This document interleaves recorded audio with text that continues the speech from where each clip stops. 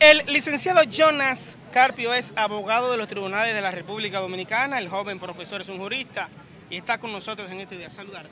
Saludos Julio, muchas gracias. Saludos a toda tu audiencia. Sí, en el día de hoy se ha impuesto una medida de coerción concerniente en un año de prisión para el profesor que está imputado, investigado por el caso del adolescente Esmeralda Richel?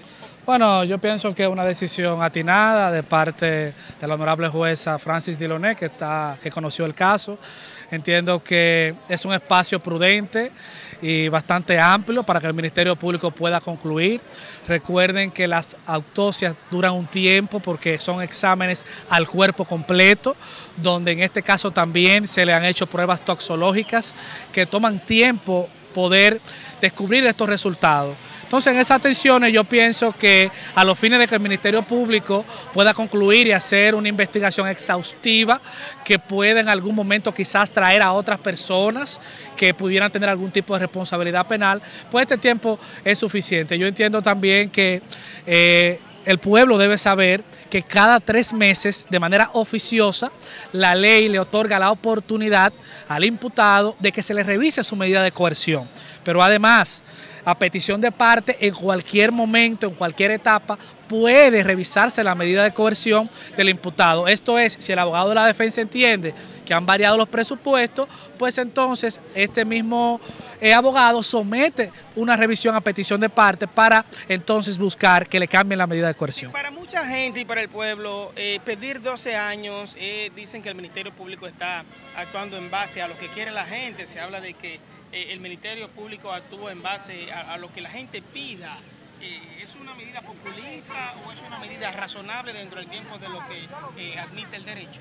Mira, lo que pasa es que la figura del populismo penal hay que reconocer que ha hecho estragos en la justicia, no solo en la justicia dominicana, sino en la justicia a nivel mundial. Sin embargo, este caso tiene muchas aristas, tiene muchas situaciones, muchas personas, y entonces yo entiendo que obligar al Ministerio Público a acelerar ese proceso de investigación sería inoportuno, sería algo que afectaría a la misma investigación, porque los propios eh, imputados dicen que ellos quieren que se investigue, que ellos quieren que se haga la cosa bien. Entonces, en esas tensiones yo entiendo que más allá de una medida populista, es una medida idónea para que pueda esclarecerse este caso y para que la situación al final llegue a buen término, que se haga justicia y que los responsables paguen por los hechos. ¿A qué pena se enfrenta el imputado, el profesor? En este caso que el Ministerio Público pues lo está acusando de violación.